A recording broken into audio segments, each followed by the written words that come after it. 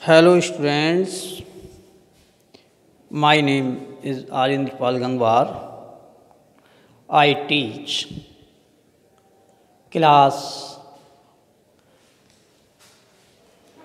third class third है. Chapter है आपका फाइव में noun and its use noun और उनका यूज़ पहले तो आप ये समझिए कि नाउन क्या होता है. वाट इज़ नाउन नाउन क्या है? नाउन पार्ट्स ऑफ़ बॉडी का एक जो है, अंग है। जैसे पार्ट्स ऑफ़ बॉडी होता है हमारा पार्ट्स ऑफ़ बॉडी में noun pronoun verb adverb adjective preposition conjunction interjection होते हैं नहीं? तो उसमें से एक वन पार्ट से हमारा, उसमें से एक जो है हमारा पार्ट क्या है? नाउन नाउन क्या है? नाउन को हिंदी में कहते हैं हम संज्ञा। अंडरस्टैंड समझ रहा हूँ सभी? नाउन क्या कहते हैं? हिंदी में संज्ञा। तो संज्ञा क्या है?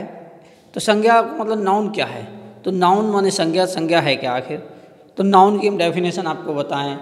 A noun is the name of the person place of thing noun is the name of the person place of thing animal and thing भी हो सकता है। पहले या हो सकता है noun is the name of the person place of thing animals ई मतलब इत्यादि और भी चीज़ हो सकती हैं। संज्ञा वह शब्द है जो किसी विषय, वस्तु, स्थान का जहाँ बोध होता है, उसे क्या कहते हैं? संज्ञा कहते हैं। एज एग्ज़ाम्पल जैसे किसी का नेम हो सकता है, नेहा हो सकता है, गंगा हो सकता है कंप्यूटर हो सकता है मैन हो सकता है गर्ल हो सकता है क्लास हो सकती है गोल्ड हो सकता है ब्यूटी हो सकती है होनेस्टी हो सकती है। किसी प्रकार की कई चीज़ें जो हैं, हमारी क्या हो सकती है? नाउन होता है। क्या होते हैं? नाउन पता नहीं। तो नाउन क्या है noun noun is the name noun वह शब्द है। नाउन वह शब्द है। नाउन इज़ द नेम एक ऐसा नाम है। क्या है? Noun is the name of the person किसी व्यक्ति के लिए प्लेस किसी स्थान के लिए, थिन वस्तुओं के लिए एनिमल किसी जानवर के लिए, इत्यादि के लिए जहाँ प्रयोग किया जाता है। उसे क्या कहते हैं? नाउन और noun is the name of the person place of thing संज्ञा वह शब्द है जो किसी विशेष व्यक्ति स्थान हम्म, का किसका बोध होता है। किसी विशेष स्थान या किसी व्यक्ति का बोध होता है उसे क्या कहते हैं? संज्ञा कहते हैं। एज ए डेफिनेशन एक डेफिनेशन और भी हो सकती है। Everything around us has आटा name everything around us has a name people place animal and thing have names that we call noun कि एवरीथिंग अराउंड जो हमारे चारों ओर है, आसमान हमारे हैज़ अ नेम ध्यान से सुनिए। Everything around us has a name people place animals and things have names that we call noun understand या noun is the name of the person place of thing and animals ठीक? आप definition हो सकती है। Understand definition learn करना है आपको। अब आता है कि नाउन जो है हमारा, ये क्या क्या हो सकते हैं नाउन नाउन में हमने आपको बताया, किसी व्यक्ति का नाम हो सकता है हुँ? जैसे सीता, गीता, राम, श्याम, हो सकता नहीं? किसी जाति का मतलब हो सकता है, जैसे मैन गर्ल स्कूल बॉय किसी समूह का हो सकता है क्लास आर्मी मतलब किसी कोई बहुमूल कोई चीज़ हो सकती है, जैसे हम कहें गोल्ड सिल्वर बोर्ड वगैरह कोई हो सकती है ब्यूटी हो सकती है हॉनेस्टी हो सकती है, इस तरह के क्या होंगे हमारे? ये सब क्या होंगे हमारे? नाउन होंगे, ठीक? अब बात आती है हमारी नाउन के टाइप क्या होते हैं? कौन कौन से नाउन होते हैं? आखिर noun kinds of noun noun के काइंड्स कितने होते हैं? तो हमारे नाउन जो होते हैं फाइव टाइप के नाउन होते हैं हमारे। कितने टाइप के नाउन होते हैं? फाइव टाइप के। सबसे पहले होता है हमारा प्रॉपर नाउन दूसरा होता है हमारा कॉमन नाउन थर्ड नंबर होता है हमारा कलेक्टिव नाउन फिर होता है मटेरियल नाउन फिर होता है अब्स्ट्रक्ट नाउन प्रॉपर नाउन को हम हिंदी में कहते हैं प्रॉपर यानी व्यक्तिवाचक संज्ञा. व्यक्तिवाचक संज्ञा होता है। प्रॉपर नाउन क्या होता है हमारा? व्यक्तिवाचक संज्ञा, जिसमें किसी व्यक्ति के बारे में किसके, यानी किसी भी व्यक्ति के बारे में जैसे वर्णन किया जाए उसे क्या कहते हैं हम? व्यक्तिवाचक संज्ञा, यानी क्या कहेंगे उसे हम? प्रॉपर नाउन कहेंगे। अंडरस्टैंड समझ आए सब? प्रॉपर नाउन कहेंगे। इसे हम कह सकते हैं इसकी डेफिनेशन प्रॉपर नाउन की। A noun which is use for a particular person place और thing is called a proper noun understand a noun which is use for a particular person place और thing is called a proper noun it begins with capital letter ये किससे start होते हैं? ये capital letter से शुरू होते हैं। इन्हें क्या कहते हैं हम? प्रॉपर नाउन कहते हैं। किसी व्यक्ति का जैसे नेम ऑफ़ पर्सन हो सकता है, मोहन है, सोहन है, सीता है, गीता है, कोई और। नेम ऑफ़ पैलेस हो सकता है, दिल्ली, आगरा मुंबई। हो सकता है? कोई बुक्स का नेम हो सकता है, इंग्लिश है, रामायण है, महाभारत है, गीता है, कुरान है, इनके किसी के नेम हो सकते हैं। कोई रिवर्स की नदियों के नाम हो सकते हैं दी गंगा यमुना, ब्रह्मपुत्र, कावेरी, हो सकता है? माउंटेन हो सकता है, the Himalaya the Vindhyachal name of monuments हो सकता है, जी, the Taj, the red fort मतलब जी जी जो होते हैं हमारे क्या होती हैं building most beautiful building parliament इस तरह से हमारे ये हो सकते हैं हमारे। ठीक है? किसी न्यूज़पेपर का नेम हो सकता है the Indian Express the Hindustan Times Amar Ujala, Dainik Jagran. Festival हम्म? हो सकते हैं, होली, दीपावली, ईद इत्यादि। अंडरस्टैंड समझ गया सभी? कि प्रॉपर नाउन क्या होता है? A noun which is use for a particular person palace or thing is called a proper noun understand proper noun as a जैसे दिसंबर प्रॉपर नाउन का एग्ज़ाम्पल है, सीता है हम्म? महाराणा प्रताप है, कालिदास है हम्म?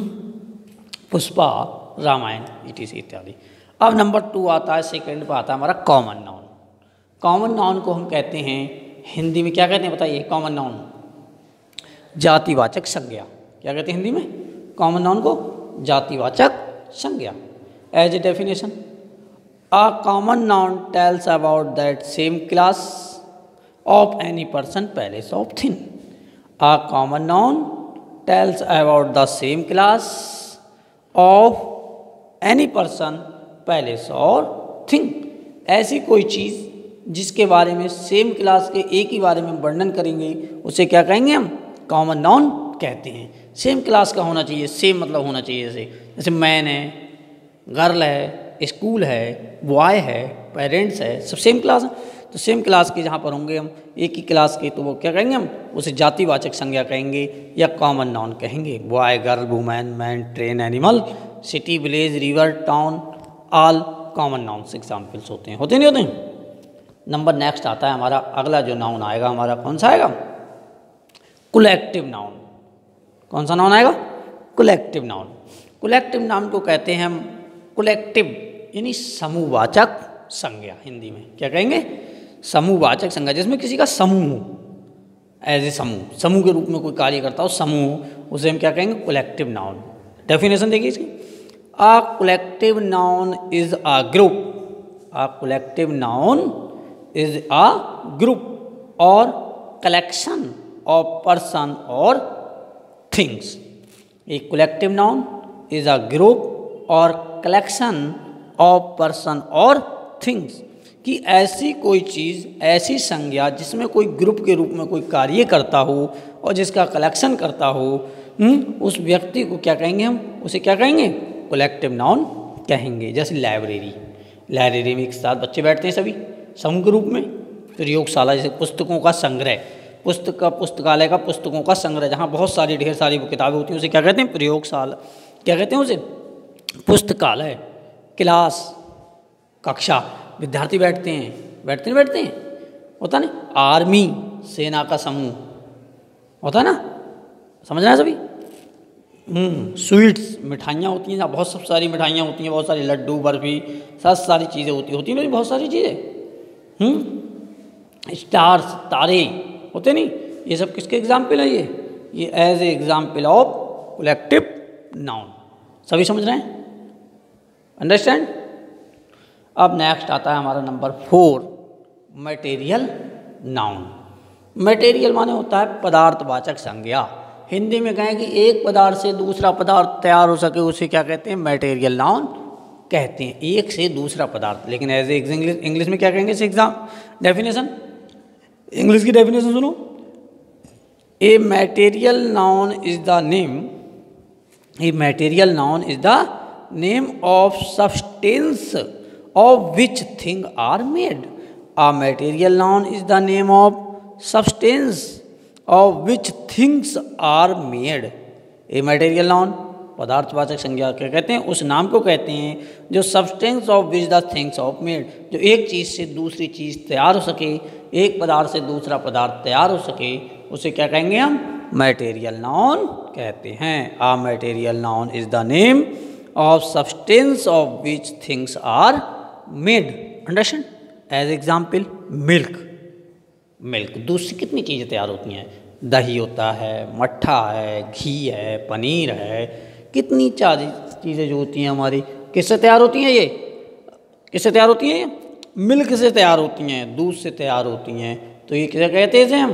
As example of material noun gold है silver है wood है आयरन है मार्बल है। गोल्ड से देखो, कितने सारे मटेरियल तैयार हो रहे हैं गोल्ड सोने को जानते हैं आप? मुझे नहीं हो रहे हैं? हीरे जवाहरात तैयार होते हैं। डायमंड है, ऐसे ही हम कह सकते हैं। सिल्वर है सिल्वर से देखो।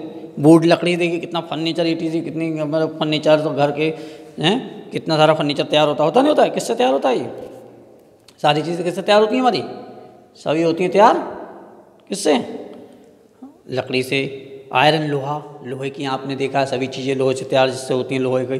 होती नहीं होती हैं? तो किसके एग्ज़ाम्पल है? This is example of material noun समझ रहे हैं सभी?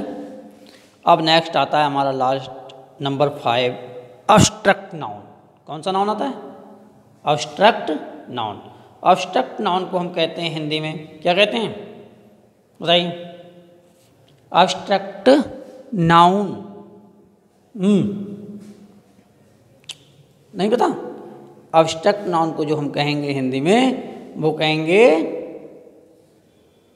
गुणवाचक संज्ञा। कौन सी संज्ञा? गुणवाचक संज्ञा, जिसमें किसी गुण का भाव हो। गुणवाचक, जिसमें किसी कोई ना कोई गुण हो, जिसमें हम्म अच्छाई बुराई का, जिसमें भाव आए, उसे भाववाचक कह सकते हैं, गुणवाचक कह सकते हैं संज्ञा। ठीक है?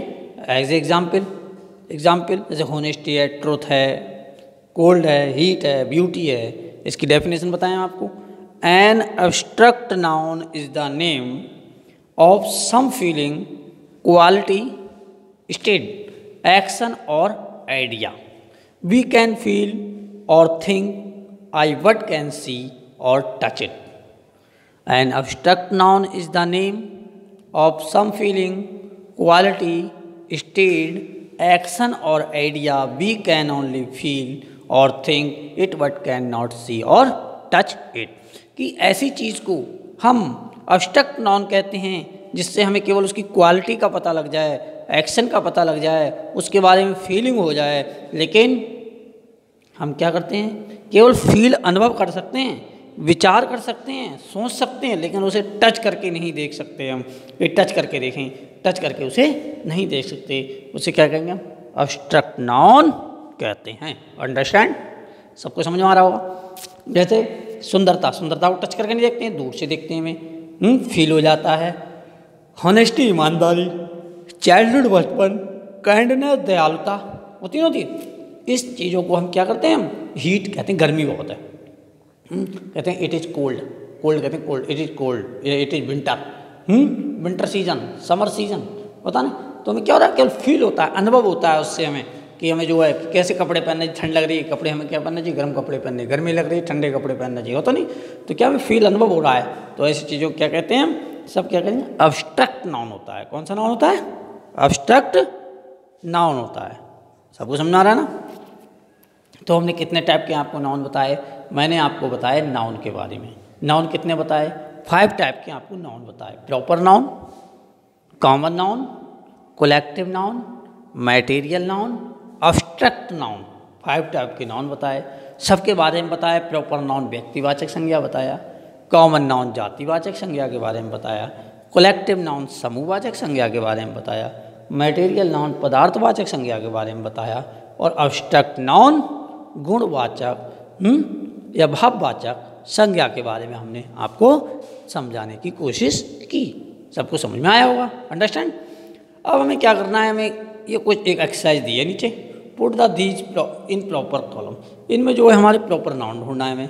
प्रॉपर नाउन कौन कौन सा है? इसमें आप ढूंढेंगे अयोध्या लिखा है राम है दशरथ है टेलीविज़न है रमेश है श्रीलंका है दिल्ली है।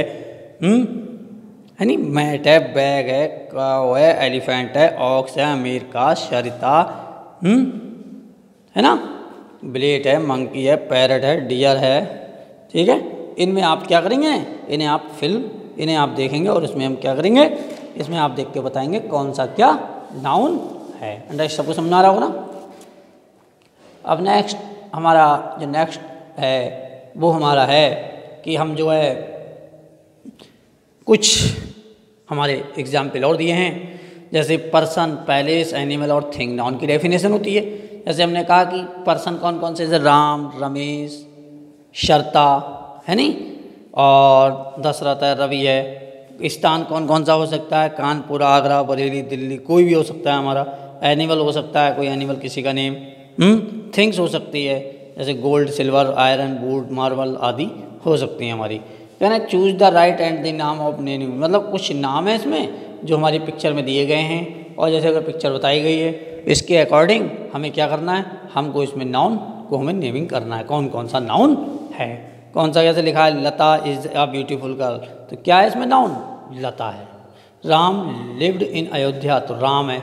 कहाँ? अयोध्या भी हो जाएगा, राम भी हो जाएगा। राम कहाँ रहते थे? अयोध्या में रहते थे तो अयोध्या हो जाएगा। लेकिन राम कौन सा नाउन हो जाएगा? राम और अयोध्या दोनों क्या हो जाएँगे? प्रॉपर नाउन सब प्रॉपर नाउन के एग्जाम्पल्स हैं ये, ज़्यादातर। तो इन्हें हम क्या करेंगे? एक बार इन्हें रिपीट करेंगे और इन्हें एक बार रिपीट करने के बाद सबकी डेफिनेशन लर्न करेंगे। नाउन की पूरी और नाउन के इनके काइंड्स ऑफ़ नाउन पूरे जितने हैं, इनके बारे में इन्हें हम, जो हमने आपको बताया, सबसे पहले हमने बताया आपको नाउन के बारे में proper noun common noun collective noun material noun और एब्स्ट्रक्ट नाउन सभी नाउन की आप जो डेफिनेशन है, हमने आपको बताई। उनके बारे में आपको बताया। सबको समझ में आ गया होगा। अंडरस्टैंड और जो आप इसे लर्न करेंगे। Thank you